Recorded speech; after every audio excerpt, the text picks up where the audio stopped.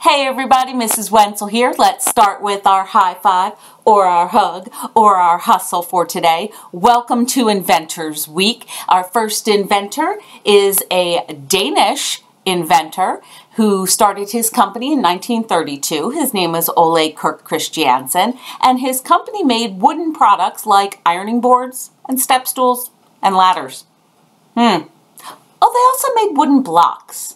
Blocks are pretty cool, aren't they? In fact, you probably know this company very well. In 1934, he changed the name of his company to Legot, which means play well. And can you see it?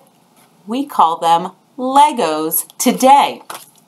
In 1949, they actually started to produce their first plastic automatic binding brick, which was like the beginnings of Legos. In 1958, the Legos like we know them today were patented and created.